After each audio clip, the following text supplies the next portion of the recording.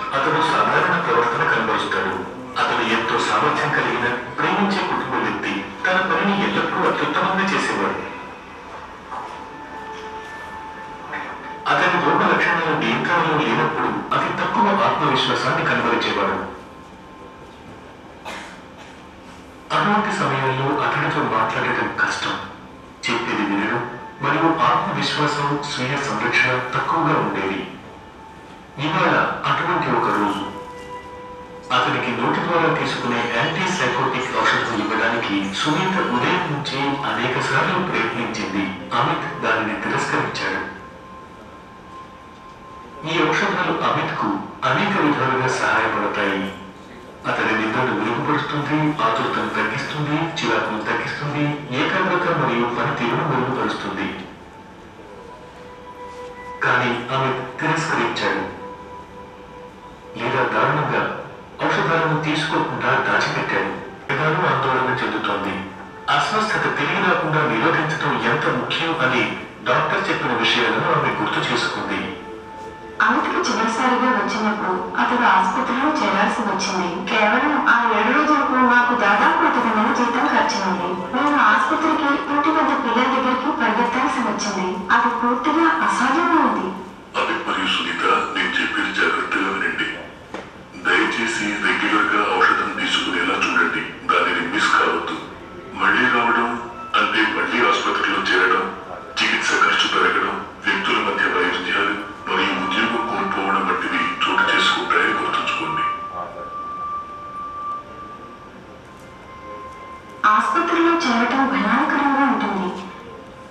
అయితే అతడి ఔషధం గురించి ప్రతిరోజు బాధించటంలోనే నా ప్రాణం పోతుంది. లాంగ్ యాక్టింగ్ ఇంజెక్షన్లను పరిగణించండి. దీని గురించి నాకు గుర్తుంది. ఇది నీవేం సమాధానమా? డాక్టర్ చెప్పాడు. సునీత కొత్త యాంటీసైకోటిక్లు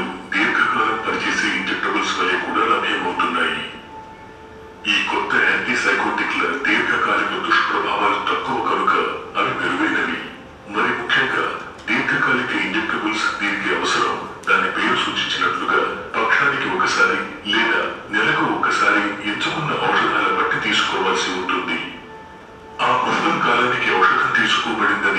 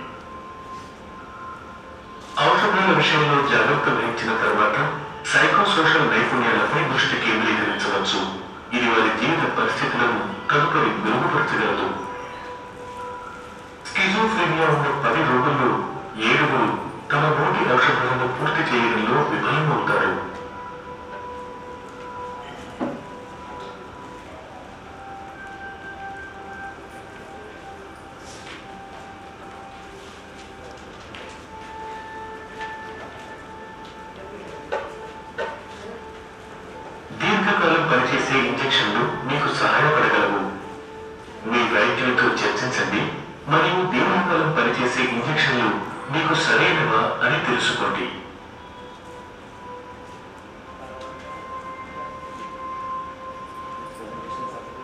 చాలా మంది ఏంటంటే ఈ స్కిజోఫ్రీనియా అనే ఒక జబ్బుతో ఏంటంటే చాలా మంది ఏంటంటే వాళ్ళ జాబ్స్ కోల్పోతున్నారు డైవర్స్ అవుతున్నాయి తర్వాత వాళ్ళు ఏంటంటే ఇప్పుడు మనం చాలా మంది సైకోస్ అంటాం. మనకి ఏంటంటే ఇప్పుడు కొన్నిసార్లు మర్డర్ జరుగుతుంటాయి కొన్నిసార్లు నేరాలు జరుగుతుంటాయి ఘోరాలు జరుగుతుంటాయి. దానికి గల కారణం ఏంటంటే ఈ స్కిజోఫ్రెనియా లాంటి జబ్బు అనమాట ఈ స్కిజోఫ్రీనియా ప్రాపర్ ట్రీట్మెంట్ చేయకపోతే మన సొసైటీకి వాళ్ళు హార్మ్ఫుల్ అవడానికి అవకాశం ఉంది. ఇప్పుడు మనం చాలా మంది చూస్తున్నాం ఇప్పుడు ఇందాక మనకి ఇంజెక్షన్స్ ఎందుకు ఇచ్చారు? అది లాంగ్ యాక్టింగ్ ఇంజెక్షన్ ఎందుకు ఇచ్చారంటే ఇలాంటి స్కిజోఫ్రీనియా జబ్బున వాళ్ళకి ఏంటంటే మెదడులో కొన్ని రసాయనాలు పెరుగుతాయి. ఎట్లయితే ఇప్పుడు మనకు బండ్లు ఎట్లయితే పెట్రోల్ ఉంటాయి మన మెదడులో కూడా నాడీ కణాల్లో కొన్ని రసాయనాలు విడుదలవుతుంటాయి ఈ విడుదలైనప్పుడు ఏమైతుందంటే కొంచెం పెరగడం వల్ల ఏంటంటే వాళ్ళకు అక్కడ ఎవరు లేకపోయినా మనిషి ఉన్నట్టు లేకపోతే చెవుల శబ్దాలు కనపడుతున్నట్టు ఎవరు వెంబడిస్తున్నట్టు ఇలాంటివి మనకు కనిపిస్తుంటాయి మళ్ళీ ఇంకోటి ఏంటంటే విలేజ్లలో చాలా మంది గుల్ఫరాఫీలు అవుతున్నారు. నా దగ్గర చాలా మంది ఏంటంటే వస్తుంటారు. తల్లి గర్భంలో ఉన్నప్పుడు తెల్లగడ్డ తాగిస్తే పిల్లలు తెల్లగా ఉంటారు సార్ కొంచెం తాగిస్తున్నామని చెప్తుంటారు చాలా మంది నేను చూస్తుంటాను. సో దాంతో మనం అందులో ఉండే పదార్థం ఏంటంటే తల్లి యొక్క ఆరోగ్యంతో పాటు బిడ్డ ఆరోగ్యాన్ని కూడా దెబ్బతీస్తుంది. ఈ జబ్బు ఒకవేళ ఉందంటే ట్విన్స్ వాళ్ళ కవల పిల్లల్లో ఒకటి ఉందంటే ఇంకొకసారి ఇంకొకరికి రావడానికి అవకాశం ఎక్కువ ఉంటుంది. తర్వాత ఇద్దరు పేరెంట్స్ ఉందంటే జబ్బు నెక్స్ట్ పిల్లలకు నలభై ఎనిమిది శాతం రావడానికి అవకాశం ఉంటుంది. ఒకవేళ వాళ్ళ యొక్క అన్నదమ్ములకు కానీ వాళ్ళకు ఉంటే పన్నెండు శాతం రావడానికి అవకాశం ఉంటుంది. ఒకవేళ వాళ్ళ మేనల్ మేనరికం వాళ్ళకు ఉంటే ఒకవేళ అత్తమ్మ కానీ వాళ్ళ గ్రాండ్ అంటే గ్రాండ్ పేరెంట్స్ ఉన్నట్లయితే ఒక ఐదు శాతము కొన్నిసార్లు రియాక్షన్ లేకుండా వన్ పర్సెంట్ రావడానికి అవకాశం ఉంటుంది. ఒకవేళ స్ట్రెస్ ఉంటుంది. అంటే జెనెటికల్గా కూడా ఇది సంభవించడానికి అవకాశం ఉంటుంది. మానసిక ఒత్తిడి వల్ల కూడా ఇది పెరగడానికి అవకాశం ఉంటుంది. సో ఇది నార్మల్ బ్రెయిన్ ఇది చూసారు కదా? ఇక్కడ ఇది నార్మల్ బ్రెయిన్ ఇట్లా ఉంటుంది. కానీ ఈ స్కిజోప్రీనియా వ్యాధి జబ్బు వచ్చిన వాళ్ళలో బ్రెయిన్ ఏమవుతుందంటే ఆ ఈ ఏరియా తగ్గిపోతుంది ఈ బ్రెయిన్ అనేది ఇలా నిండుగా ఉండాలి మంచిగా. ఇక్కడ ఏమవుతుందంటే ఈ స్కిజోప్రీనియాతో బాధపడ్డ వాళ్ళు ఈ బ్రెయిన్ వాల్యూ తగ్గిపోతుంది. అంటే అక్కడ మ్యాటర్ అనేది తగ్గిపోయి వాళ్ళు తెలివి కానీ తర్వాత రోజు పనిచేసే తనం కానీ యాక్టివ్నెస్ కానీ కాన్సన్ట్రేషన్ కానీ మెమరీ కానీ ఇవన్నీ తగ్గిపోతుంటాయి. మామూలుగా మంచిగా ఎడ్యుకేటెడ్ గ్రాడ్యుయేట్ అంటే మంచి బీటెక్ కానీ లేకపోతే ఒక డిగ్రీ కంప్లీట్ అయిన విద్యార్థి సడన్గా ఏమవుతుందంటే వర్క్ వెళ్ళడం తగ్గిపోతుంది. ఇంట్లో సంపాదించే పర్సన్ ఏమవుతుంది ఈ జబ్బు రాగానే పని చేయడం తగ్గిపోతుంటుంది. రిలేషన్స్ తగ్గిపోతాయి భార్య భర్తల మధ్యలో రిలేషన్స్ దానివల్ల ఏమవుతుంది డైవర్స్ అయిపోతుంది. తర్వాత సెల్ఫ్ కేర్ వాళ్ళ వాళ్ళు కేర్ తగ్గిపోతుంటుంది. ఈ స్కిజోఫ్రెనిక్ పేషెంట్ ఏంటంటే తెలివికి సంబంధించిన నాడీ కణాలు మనకు అది దెబ్బతింటుంటాయి. సో ఈ ట్రీట్మెంట్ ఇందాక నేను చెప్పిన ట్రీట్మెంట్ ఏంటంటే ఏమైనా యాంటీసైకోటిక్స్ అనే మందులు వచ్చినాయి. ఇప్పుడు అధునాతన ట్రీట్మెంట్స్ వచ్చినాయి. ఈ ట్రీట్మెంట్స్ ఇవ్వడం ద్వారా ఏమవుతుందంటే వాళ్ళని మనం నయం చేయడానికి అవకాశం ఉంటుంది. నయం చేస్తే ఏమవుతుంది వాళ్ళ యొక్క లైఫ్ స్టైల్ అనేది అంటే ఇప్పుడు ఇందాక మనం వర్క్ చేయలేకపోయాడు వర్క్ వెళ్తాడు. భార్య భర్తల రిలేషన్స్ డ్యామేజ్ అయినాయి మళ్ళీ ఇంప్రూవ్ అయిపోతాయి. ఒకటే డబ్బు ఉండేది అదే మందులు వాడాల్సి వచ్చేది ఇప్పుడు చాలా ఎట్లయితే మనకు రీసెర్చ్ అనేది డెవలప్ అవుతుందో మనకి ఇప్పుడు అధునాతనమైన చాలా మందులు వచ్చినాయి. చూడండి ఒకప్పుడు నైన్టీన్ ఫిఫ్టీలో ఒకటే రకం మందు ఉండేది ఇప్పుడు సిక్స్టీలో చాలా రకాల మందులు వచ్చినాయి. ఇప్పుడు ఎంతవరకు వచ్చినాయంటే అధునాతన రీసెర్చ్ ఎంతవరకు వచ్చిందంటే డైలీ పేషెంట్ మందులు తీసుకోవడం అవసరం లేదు. నెలకు ఒక ఇంజెక్షన్ తీసుకుంటే చాలు. పర్ఫెక్ట్ నార్మల్ సో దానిపైన ఏంటంటే వాళ్ళకి ఏంటంటే టాబ్లెట్స్ మింగరు వీళ్ళకి ఏంటంటే అనుమానం ఉంటుంది. టాబ్లెట్ వేసుకుంటే ఏదో అవుతుంది సో వీళ్ళకి నెలకు ఒక ఇంజెక్షన్ చేస్తే ఏమవుతుందంటే మా టాబ్లెట్ కూడా వేసుకోవడం అవసరం లేదు. ఇన్సులిన్ మీరు చూస్తున్నాక చాలా మంది ఇన్సులిన్ లాగా ఒక ఇంజెక్షన్ చేసేస్తే వాళ్ళు నార్మల్ అయిపోతారు. తర్వాత వాళ్ళ లైఫ్ స్టైల్ అనేది ఇంప్రూవ్ అయిపోతుంది. స్టడీ ప్రజెంట్ చేయడం జరిగింది. మనం ఇక్కడ చేసిన స్టడీ సిక్స్ హండ్రెడ్ పేషెంట్స్ పైన మేము చేసాం సో చాలా మందికి మూడు మూఢనమ్మకాలు ఉన్నాయి. డాక్టర్ దగ్గరికి వెళ్తే మత్తు మందులు ఇస్తారు సైకాట్రిస్ట్ దగ్గరికి వెళ్తే మా నిద్రలో పడేస్తారు అనుకుంటారు అట్లాంటిది కాదు. యాక్చువల్లీ ఇప్పుడు అధునాతన మందులు వచ్చినాయి. దాని వల్ల ఏంటంటే వాళ్ళ యొక్క ఆరోగ్యం అనేది మెరుగుపడుతుంది. వాళ్ళ మెమరీ ఇందాక నేను చెప్పాను బ్రెయిన్లో కణాలు తగ్గిపోతున్నాయి అన్నాం కదా మనం మందులు ఇస్తే ఆ కణాలు పెరిగి మళ్ళీ వాళ్ళ మెమరీ కాన్సన్ట్రేషన్ ఏకాగ్రత నిద్ర తర్వాత వాళ్ళ యొక్క మానసిక స్థితి ఆలోచన విధానము మాట్లాడే విధానము డ్రెస్సింగ్ సెన్స్ ఇవన్నీ పెరుగుతాయి. సో ఇప్పుడు కొత్తగా మనకి ఏంటంటే ఇలాంటి ట్రీట్మెంట్ రావడం ద్వారా ఏంటంటే మనకు ఈ ఇంజెక్షన్స్ ఈ ట్రీట్మెంట్ రావడం ద్వారా ఏంటంటే చాలా అడ్వాంటేజ్ ఏంటంటే చాలా మందిలో ఈ తీవ్రత వ్యాధిలో తగ్గిపోయింది. అంటే నేను మనం నేను యాజ్ మెడికల్ కాలేజ్లో అసోసియేట్ ప్రొఫెసర్ అంటే మేము రీసెర్చ్ చేయాలి. కంపల్సరీ ఏంటంటే మీరు ఎట్లయితే మీ మీ విలేజ్లలో టీచర్స్ పిల్లలకి ఎట్లా పట్టాలు చెప్తారో మేము వైద్య విద్యార్థులకు పట్టాలు చెప్తాం. ఇప్పుడు డాక్టర్లు తయారు చేయడానికి మెడికల్ కాలేజ్ మనకు ప్రతిష్టాత్మకంగా మన మెడికల్ కాలేజ్ అందరూ తెలుసు కదా అందులో మేము నేను అసోసియేట్ ప్రొఫెసర్ ఉన్నాను. వాళ్ళకి ఏంటంటే పాఠాలు చెప్తాం. సో కాబట్టి దీనివల్ల ఏమవుతుందంటే మనకి ట్రీట్మెంట్స్ ఇవ్వడం ద్వారా వాళ్ళలో ఇంప్రూవ్మెంట్ అనేది తొందరగా రావడానికి అవకాశం ఉంటుంది సో మీరు మీ విలేజ్లలో ఈ ట్రీట్మెంట్ ఇవ్వడం ద్వారా ఇలాంటి వాళ్ళకి మనం ట్రీట్మెంట్ తీసుకెళ్ళడం ద్వారా అడ్వాంటేజ్ అంటే కోపం చీకాలు తగ్గించవచ్చు. తర్వాత సూసైడ్ ఆత్మహత్యని నివారించవచ్చు. వైలెన్స్ మనం చాలా మంది చూస్తుంటాం. నా దగ్గర గవర్నమెంట్ హాస్పిటల్ రోజు కేసులు వస్తాయి సార్ వీడు బాగా అలా చేస్తున్నాడు. దీన్ని ఎర్రగడ్డ పంపించండి మీరు సంతకం చేస్తే ఎర్రగడ్డ తీసుకెళ్ళిపోవచ్చు అని నా దగ్గర పోలీస్ ఫస్ట్ పోలీస్ కంప్లైంట్ ఇస్తారు. పోలీస్ ఏం చేస్తారు? నా దగ్గర తీసుకొస్తారు. నేను రాసిన తర్వాత కోర్టుకి వెళ్తుంది. కోర్టులో మెజిస్ట్రేట్ ఏం చేస్తారు? ఆర్డర్ ఇచ్చేసి ఎర్రగడ్డ పంపిస్తారు. సో ఎందుకు జరుగుతుంది? మన ట్రీట్మెంట్ జరగట కాబట్టి మనం ట్రీట్మెంట్ ఇస్తే ఆ పాట కూడా తగ్గించవచ్చు. ఇంకోటి చాలా మంది తినరు. వాళ్ళు ఇట్లాంటి పేషెంట్ తినడానికి అంటే తినడానికి ఇష్టపడరు. అట్లా ఈ మెడికేషన్ ఇస్తే వాళ్ళ ఆకలి పెరుగుతుంది. తర్వాత వాళ్ళ నలుగురితో కలవడానికి అవకాశం ఉంటుంది. డిప్రెషన్ మెయిన్ ఏంటంటే ఇలాంటి వాళ్ళకి స్టిగ్మా అంటారు అంటారు మనం కూడా ఏం చేస్తాం? వాడు పిచ్చి పిచ్చి చేస్తే వాడు పిచ్చోడు లేకపోతే ఇట్లా అంటారు కదా వాళ్ళ వాళ్ళలో ఇంకా డిప్రెషన్ రావడానికి అవకాశం ఉంటుంది. కాబట్టి మనం ట్రీట్మెంట్ ఇస్తే ఒక లైఫ్లో ఒక ఫ్యామిలీని మనం కాపాడడానికి అవకాశం ఉంటుంది. సో ఇప్పుడు ఇంకోటి అధునాతనంగా షాక్ ట్రీట్మెంట్ విన్నారు ఎప్పుడైనా షాక్ ట్రీట్మెంట్ అని? సో బాగా సివియర్ కేసెస్లో షాక్ ట్రీట్మెంట్ ఆపరేషన్ థియేటర్లో ఇస్తాం. షాక్ ట్రీట్మెంట్స్ అని ఉంటాయి. అలాంటివి కూడా ఇప్పుడు అందుబాటులోనే. కానీ ఎట్లయితే మనకు అధునాతన మందులు రావడం జరిగిందో ఆ ట్రీట్మెంట్స్ కూడా తగ్గినాయి. మనం ఏం చేయాలి? మన సొసైటీ మన యొక్క పాత్ర మనం సామాజిక డాక్టర్గా నేను ట్రీట్మెంట్ ఇస్తాను కానీ యాజ్ ఏ మనం ఒక పౌరుడిగా భారతదేశ పౌరుడిగా మనం చేయాల్సింది ఏంటంటే ఇలాంటి వాళ్ళకు మనం ఒక సపోర్ట్ ఇవ్వాలి అంటే రీహాబిలిటేషన్ మనం ఏంటంటే చాలా మంది ఏం చేస్తుంటారు? మనం ఏం చేస్తుంటారు? విలేజ్లలో కట్టేస్తుంటారు కొడుకుంటారు. అలా కాకుండా వాళ్ళకి ఏంటంటే ట్రీట్మెంట్కి వెళ్ళే విధంగా మనం ప్రోత్సహించాలి? రీహాబిలిటేషన్ వాళ్ళు ఏంటంటే అలాంటి వాళ్ళకి ఏంటంటే జబ్బు నయమైన తర్వాత వాళ్ళకి ఉద్యోగం కల్పించడం. చిన్న చిన్న ఉపాధి హామీ మీరు చాలా మంది వచ్చిన ఉపాధి హామీ అంటే దాని ద్వారా వాళ్ళకి డబ్బులు వస్తాయి. దాని ద్వారా వాళ్ళ ఫ్యామిలీని పోషించుకోగలుగుతారు. తర్వాత గవర్నమెంట్ కూడా ఏంటంటే ఇలా పెన్షన్స్ ఇస్తుంది. ఇప్పుడు నేను రోజు ప్రతి వారం నేను గవర్నమెంట్ హాస్పిటల్లో పెన్షన్స్ ఇస్తాను. ఈ మానసికంగా ఎవరైతే ఇట్లాంటి రోగులు ఉన్నారో వీళ్ళకి ఏంటంటే డిజబిలిటీ అంటే వాళ్ళకు నిజంగానే తీవ్రమైన స్థాయిలో ఉన్న వాళ్ళకి ఏంటంటే గవర్నమెంట్ ఏంటంటే పెన్షన్స్ కూడా ఇస్తుంది. మీకు తెలుసు మీరు ఏంటంటే ఇప్పుడు మీరు చాలా కేసెస్ వస్తాయి మానసిక అలాంటి వాళ్ళకి ఏంటంటే ఎలిజిబుల్ పేజ్ అడుగులైన వాళ్ళకి ఏంటంటే three monthly three thousand rupees pension కూడా వస్తుంది. మీరు వాళ్ళకు అవేర్నెస్ కల్పించడం అనేది వాళ్ళ కౌన్సిలింగ్ అంటే ఒక మేము ఉన్నాము మేము భరోసా ఉన్నాము. ఈ సొసైటీలో ఇట్లాంటి సమస్యలు ఉన్నప్పుడు ట్రీట్మెంట్స్ ఉన్నాయని మీరు ఒక భరోసా ఇచ్చినట్లయితే ఏమవుతుందంటే వాళ్ళకు అండర్ మనకు మన వాడి మీద భుజం మీద చేసి అరే నీకు ఏం కాదు అంటే వాడికి ధైర్యం ఉంటుంది. అదే వాడికి చాలా మంది మన విలేజ్లలో ఏంటంటే విలేజ్ అంటారు ఈ సూసైడ్స్ కానీ మానసిక సమస్యలు కానీ ఎందుకు వస్తున్నాయంటే మన వాడి సపోర్ట్ లేక ఇలా జరుగుతుంది. సో ఈ కేసు ఫెయిల్యూర్ కావడానికి చాలా కారణాలు ఏంటంటే చాలా మంది మెడిసిన్స్ తీసుకోకపోవడానికి కారణం ఏంటంటే మన వీళ్ళు అమ్మమ్మలు నానమ్మలు వీళ్ళు ఏం చేస్తున్నారంటే అరే మందులు తింటే కిడ్నీ ఖరాబ్ అవుతాయి. ఇప్పుడు నా దగ్గరకు వస్తే చాలా పేషెంట్లు వస్తారు. మంచిగా నయమవుతాడు పేషెంట్. బట్ ఇది ఏం చెప్తారంటే ఆరు నెలలు అయిందా మందులు పడబట్టి నీ కిడ్నీ ఖరాబ్ అవుతుంది అని చెప్పాను వాడు మందులు మానేస్తాడు మానేస్తారు ఏమవుతుంది జబ్బు తిరగబడుతుంది ఈ జబ్బు అనేది పూర్తిగా కంట్రోల్ చేయడం నివారించగలుగుతాం. మనకి ఎట్లయితే షుగర్ బీపీ ఎట్లా ఉందో అట్లా ఈ జబ్బు నివారించగలుగుతాం. సో కాబట్టి మనము ఎస్పెషల్ ఇట్లాంటి వాళ్ళకి ఏంటంటే మనం కొంచెం సపోర్ట్ ఇవ్వడం ద్వారా అవేర్నెస్ చేసినట్లయితే ఇంప్రూవ్మెంట్ రావడానికి అవకాశం ఉంది. ఇది ఏంటంటే మేము ఏంటంటే ఈ డిజార్డర్ పైన అవగాహన కల్పించడానికి మా ముఖ్య ఉద్దేశం. ఏంటంటే ఈ మూఢనమ్మకాల వల్ల చాలా మంది ప్రజలు నష్టపోతున్నారు.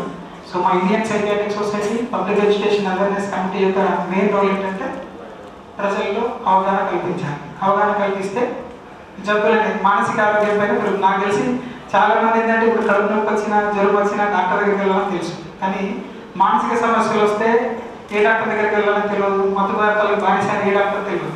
సో ఇందులో ముఖ్య ఉద్దేశం ఏంటంటే ఎర్లీ స్టేజ్లో ట్రీట్మెంట్ చేయిస్తే సొసైటీని కొంచెం కాపాడవచ్చు. మధ్యకాలంలో మనం చూస్తున్నాము ప్రతి ఒక్కరి చేతిలో సెల్ ఫోన్. మా మా దగ్గర వచ్చే సెల్ ఫోన్తో ఏంటంటే పిల్లలు పెద్దవాళ్ళు చాలా మంది ఏంటంటే విలువైన జీవితాన్ని నష్టపోయి తర్వాత మత్తు పదార్థాలు బానిస అవుతున్నారు నిద్ర నిద్ర లేని సమస్యలు. ఇలాంటి సమస్యలు వస్తున్నాయి. సో దీనిపైన ఏంటంటే మేము ఏంటంటే కొత్తగా ఏంటంటే న్యూ కాన్సెప్ట్ ఏంటంటే ఈ ఫ్యూచర్లో ఈ సెల్ఫీలు తీసుకోవడం సెల్ఫీలు తీసుకొని ప్రమాదాలు గురి కావడము వాట్సాప్ చూసి నిద్ర లేని గురి కావడము తర్వాత ఫేస్బుక్ అడిక్ట్ కావడము ఇంటర్నెట్ అడిక్ట్ కావడము మత్తు పదార్థాలకైనా డేంజర్స్ డేంజర్ ప్రాబ్లం ఏంటంటే సెల్ ఫోన్ అడిక్షన్ దానివల్ల ఒక్కొక్క స్టూడెంట్ మెయిన్గా ఐదు ఆరు నుంచి ఎనిమిది గంటల విలువైన జీవితాన్ని నష్టపోతున్నారు.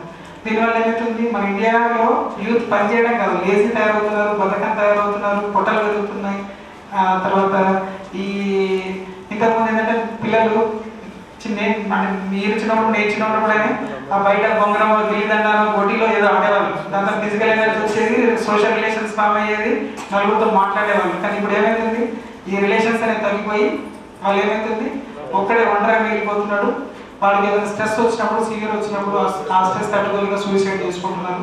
సో ఇలాంటి ఇట్లాంటి వాటిపైన ఏంటంటే మనము తెలివైన వాటిపైన మనం అవేర్నెస్ చేయాల్సిన అవసరం ఉంది. అందుకోసమే మా మా మెయిన్ ఇంటెన్షన్ ఏంటంటే ఈ మానసిక సమస్యలపైన అవగాహన కల్పిస్తే సొసైటీలో కొద్ది మందినైనా మార్చవచ్చు. మార్చితే మాట దీంట్లో ఏంటంటే మేము మనం ఒక ఒక పోస్ట్లో ఉన్నాం కాబట్టి నేషనల్గా నేషనల్ లెవెల్లో ఒక పోస్ట్లో ఉన్నాం కాబట్టి నా వంతు బాధ్యతగా నిజామాబాద్లో ఒక అవేర్నెస్ కల్పిద్దామని బాధ్యత ఇది చేయడం జరిగింది. సో మీరందరూ ఆ, ఈ కార్యక్రమాన్ని సహకరిస్తున్నందుకు ప్రత్యేక ధన్యవాదాలు. నేను